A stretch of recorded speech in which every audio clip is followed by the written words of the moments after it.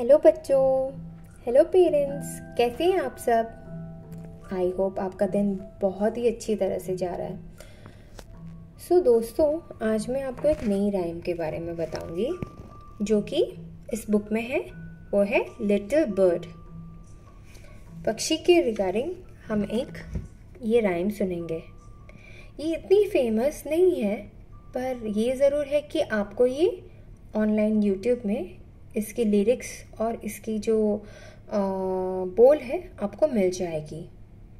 चलिए मैं आपको सुनाती हूँ। Little bird once I saw a little bird go hop hop hop so I cried little bird will you stop stop stop When I was going to window to see how do you do, then he shook his little tail and away he flew.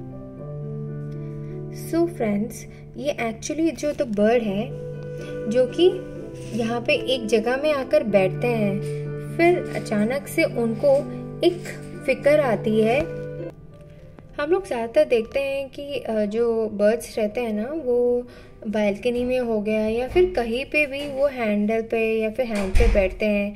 तभी उनको क्या होता है कि means उनको bird को जैसे ये वाइब्रेशन से ज़्यादातर पता चल जाता है कि कोई उनके नज़दीक आ रहा है या फिर आवाज़। तो वो तो इसे सुन नहीं पाते एग्जैक्टली exactly, पर वाइब्रेशन से उनको पता चलता है।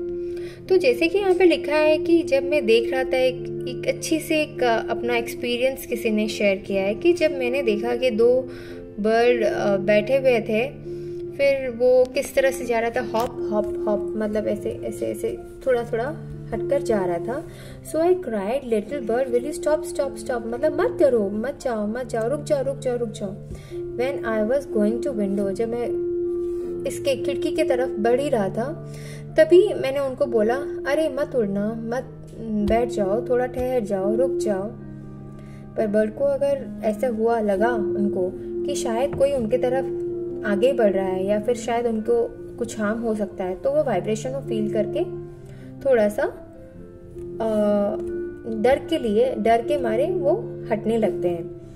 तो फिर तभी क्या हुआ, उसने बोला when I was going to window to say how do you do मैं तो बस खिड़की के पास इसलिए जा रहा था ताकि तुमको अपना, आपका हाल पूछ सकूँ कि how do you do then he shook his little tail and away he flew तभी उन्होंने ऐसे जवाब तो मुझे नहीं दिया, बस अपना टेल को ये जो टेल को इस तरह से हिलाकर चले गए उड़ते उड़ते तो ये थी इसकी मीनिंग जहाँ तक मुझे पता है।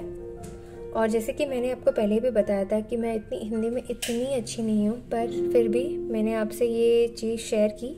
अगर आपको कुछ और अच्छा लगता है इसमें या फिर आपको कुछ और कुछ जानकारी मिलती है तो आप ज़रूर मेरे साथ शेयर करिए। और ये इन्फॉर्मेशन सिर्फ़ मुझ तक नहीं आ, अगर होगा मैं एक बार इसके रिलेटेड एक और भी या फिर जिसमें भी आपके कमेंट्स जो हैं वो मेरे लिए बहुत इम्पोर्टेंट रहेगी। और ये ज़्यादातर मैं उन बच्चों के लिए ये बोलना चाहूँगी कि जिनको अगर इस वीडियो के थ्रू अगर कोई भी हेल्प मिल पा रही है तो हम ज़रूर उनके तक ये इन्फॉर्मेशन पहुँचाएँ। तो चलिए, अगर आपको अगर कुछ भी इसके रिलेटेड बताना हो, या फिर आप मुझसे कोई भी चीज़ पढ़वाने के लिए आपको इच्छा है तो आप ज़रूर मुझे लिख के भेजिए।